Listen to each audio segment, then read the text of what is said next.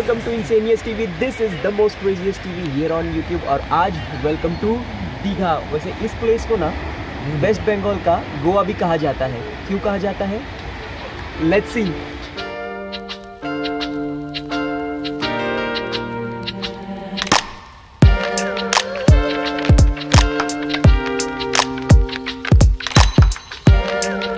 so guys start करते हैं journey to Digha.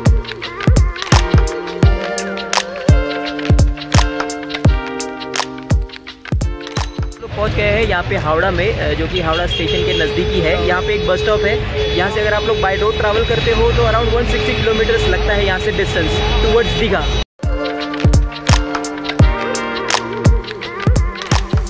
hello friend मेरा नाम मनोजीत है, मैं राकेश का फ्रेंड हूँ। और दीघा का सबसे फ़र्स्ट नोट ये है कि जब आप बस का टिकट लेते हो तो इतना समझ लेना कि Howrah to Digha non AC वाला बस जो आता है, उसका टिकट का प्राइस रहता है वन पर्सन का वन फिफ्टी रुपीज़ और अराउंड एसी का भी आप समझ लो कि प्लस हंड्रेड रहेगा अराउंड टू फिफ्टी का रहेगा. आपको यहाँ पे कोई भी कितना भी प्राइस बता सकता है, पर लेकिन ये इतना अपना आपको समझना है कि ज़्यादा लग्जरियस में वे नहीं जाना है, अपने को तीन घंटा बिताना है बस में तो उस हिसाब से आप अपना खर्चा करके आप अपने हिसाब से जा सकते हैं।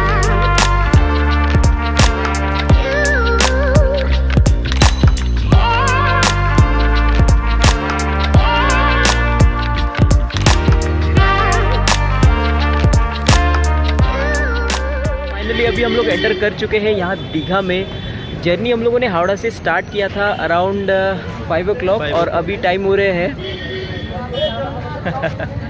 दस बज रहे हैं। सो अराउंड कितना? फाइव आवर्स का पाँच घंटे का पाँच घंटे का जर्नी था Howrah to Digha. With short breaks ज़्यादा बड़ा ब्रेक नहीं था। अराउंड पाँच मिनट का शायद तीन ब्रेक हुआ रहेगा और हमको बस में आने के लिए लगा अराउंड पाँच घंटा। तो भाई प्रिपेयर होके आना, ये बिस्किट विस्किट साथ में लेके आ जाना। खाली पेट आ जाओगे तो फिर बहुत बहुत ज़ोर की भूख लगने वाली है आपको रास्ते में। बाय बस ट्रैवलिंग बॉडी बस जर्नी की वजह से बहुत ज़्यादा स्ट्रेस्ड आउट हो गया है। चलिए पहले होटल ढूंढते हैं देन खाना खाते हैं एंड रिलैक्स करते हैं and then have some fun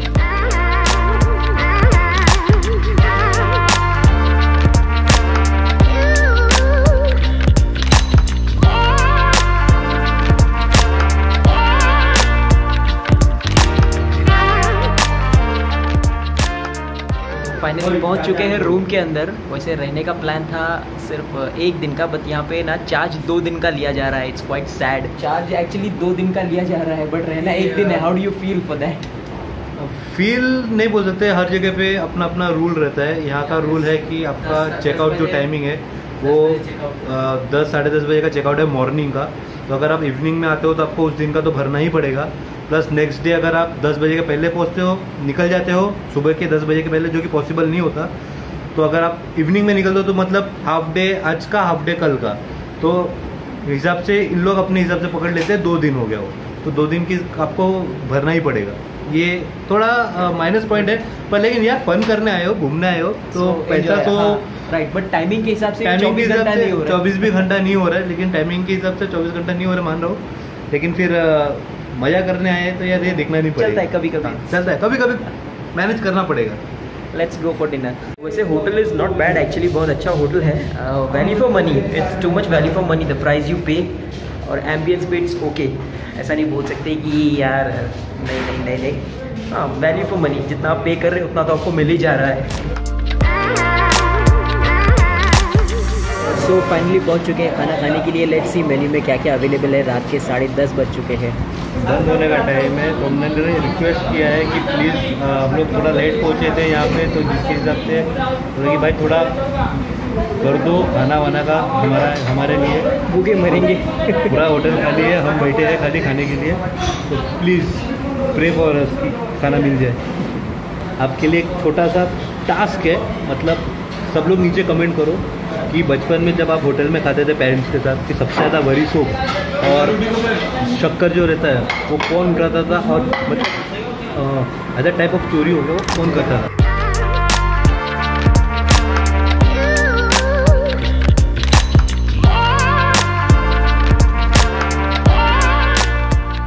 so so finally खाना हो गया ख़त्म। चलिए जाते हैं रूम में, जाते हैं रेस्ट करते हैं रिलैक्स करते हैं एंड इन्जॉय करते हैं नेक्स्ट दिन के लिए। जस्ट वेट एंड वॉच कि नेक्स्ट डे क्या होने वाला है। Too much fun too much enjoy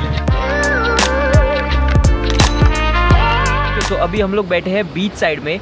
यार यहाँ का ना एक सिस्टम है कि होटल में जब आप चेक इन करते हो रात के 10 या साढ़े दस के बाद में जो टूरिस्ट है वो बाहर हैंग आउट नहीं कर सकते। यार ये थोड़ा सा एक डिसअपॉइंटिंग है। मनु क्या लगता है यार ये सिस्टम सिस्टम ठीक है पर लेकिन शायद इनकी कोई सिक्योरिटी रहेगी। या फिर ऐसा कुछ रहेगा कि रात के साथ दस, साढ़े दस बजे यहाँ पे अलाउड नहीं करते रहेगी गवर्नमेंट घूमने के लिए। फ़िलहाल अभी तो रात के साढ़े ग्यारह बज रहे हैं, और हम तो बाहर ही है भाई। कोई अभी तक वैसा कुछ सिस्टम दिखा नहीं है कि, पर लेकिन हाँ सबके होटल के बोर्ड पे लिखा हुआ है कि after ten thirty you are not allowed from outside तो भाई ये देखना पड़ेगा कि हम अभी रात को घर के अंदर सोते हैं कि घर के बाहर सोते हैं।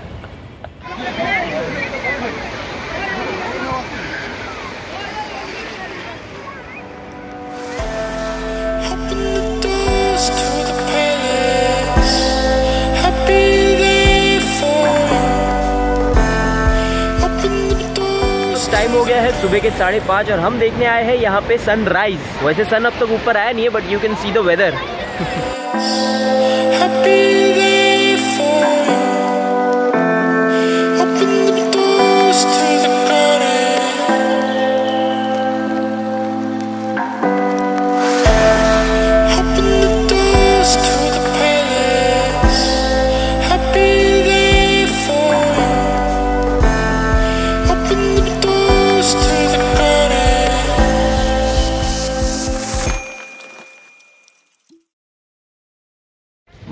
in beach side is much more relaxing peace of mind and relaxing हाँ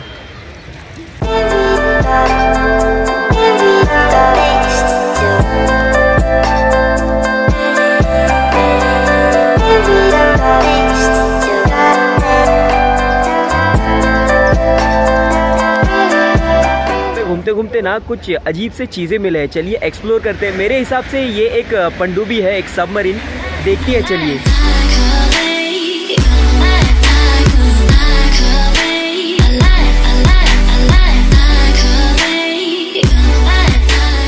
जिस वक्त खड़ा हूँ मैं इस पंडुबी के अंदर वैसे बचा तो है नहीं कुछ अंदर बस देखने के लिए ही रखा हुआ है वैसे भी अ, देखने के लिए भी नहीं है शायद कोई भी नहीं है यहाँ पे तो हम मस्ती कर रहे हैं। वैसे मैं सोच रहा हूँ अगर ये एक्चुअली में वॉकिंग होता तो कितना मज़ा आता गाइज़ इसमें बैठ करके समुद्र की यात्रा करना हो my god can't imagine but sorry ये तो वैसे भी बंद पड़ा हुआ है so we are enjoying just the way it is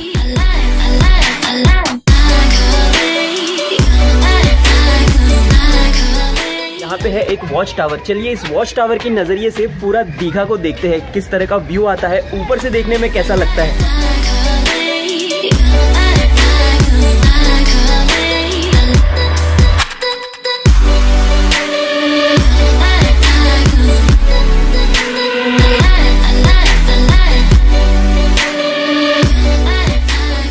Guys I mean that's fantastic यार यहाँ से ऊपर से जो व्यू है दीघा का इट्स एक्चुअली वेरी गुड यार बहुत मज़ा आ गया यार ऊपर से जो सी मार्केट और गार्डन का व्यू दिख रहा है it's actually very good very good बहुत मज़ा आ रहा है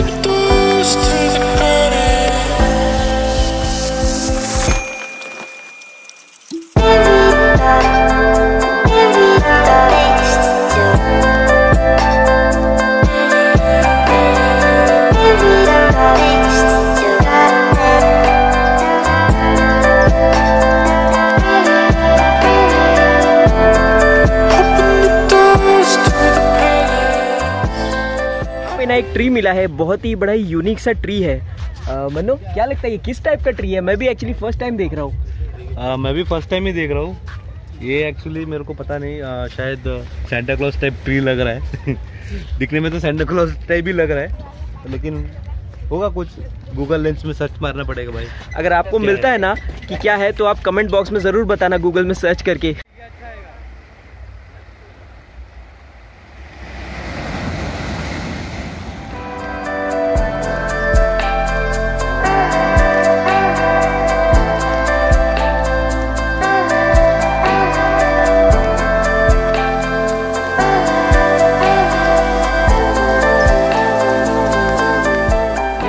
नज़दीकी यहाँ पे एक जंगल टाइप गार्डन जैसा बनाया गया है। यहाँ पे कैक्टस के बहुत सारे अलग अलग टाइप के प्लांटेशन है और ये जगह एक्चुअली बहुत अच्छा लग रहा है। यहाँ पे समुंदर के बीच में एक जंगल जंगल का मज़ा। बंगाली में शायद इसको झाऊगाछ ऐसा ही कुछ बोलते हैं।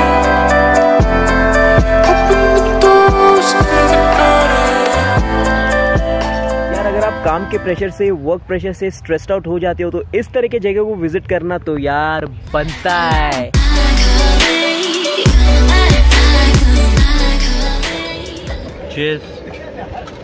सात बजे का चाय। मॉर्निंग टी हाँ। धूप तो ऐसा लग रहा है कि भाई इधर ग्यारह बज रहे हाँ। यहाँ पे एक्चुअली बहुत जल्दी सुबह हो जाता है। सनराइज भी बहुत जल्दी है और सनसेट भी बहुत जल्दी हो जाता है। अराउंड फाइव ओ क्लॉक यहाँ पे आपको आसमान नीला हो गया। हो जाता मतलब अच्छा खासा विजुअलिटी आ जाती है। इवनिंग इवनिंग दिख जाता है। और अभी तो मतलब सात बज रहे हैं लेकिन ऐसा आपको फील होगा कि भाई ग्यारह बज रहे हैं। आधे आधे लोगों की यहाँ पे आधी काम हो जाती है। हाँ धूप बहुत कड़क निकल गई है। तो एंजॉइंग और सेल्फ सेल्फ सर्विस है थोड़ा।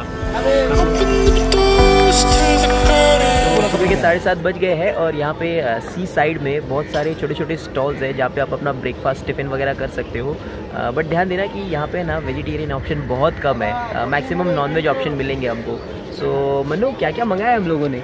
अभी तो फ़िलहाल हमने चाय मंगाया है और उसके साथ एग टोस्ट मंगाया है। बंगाली में क्या बोलते हैं? डिम टोस्ट डिम टोस्ट बंगाली में डिम टोस्ट बोलते हैं। एक्चुअली इसका लेबर ब्रेड है। हमारे वैसा मुंबई में और जो नॉर्मली ऑल ओवर इंडिया में जैसा स्लाइसेस में मिलते वैसा नहीं है। यहाँ पे क्यूब में मिलेगा आपको टोस्ट ब्रेड वो ब्रेड को स्लाइस करके अंडे में लपेट के। टेस्ट फ़ूड बेस्ट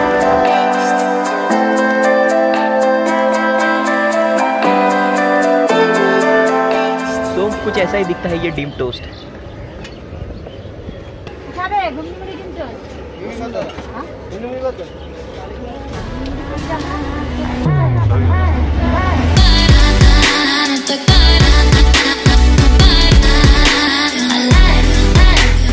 यहाँ पे है एक बहुत बड़ा जाइंट फ़िश जो कि टूरिस्ट अट्रैक्शन के लिए ही बनाया गया है ऑफ़ कोर्स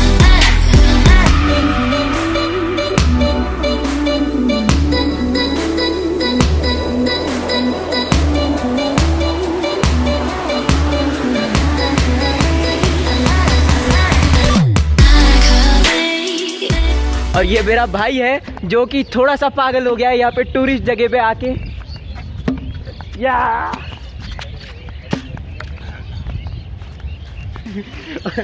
ये देख रहे हो? ये वही हैंडपम्प है जो सनी देओल ने गदर में उखाड़ा था उसको ठोकने का जगह नहीं मिला। वो इधर ठोक के गए।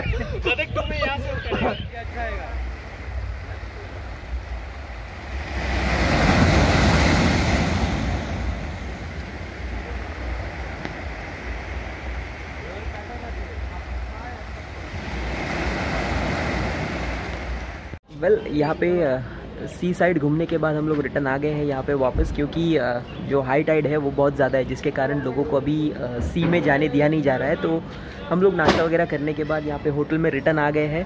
चलिए रूम में जाते हैं रेस्ट करते हैं उसके बाद देखते हैं वॉट वी सी नेक्स्ट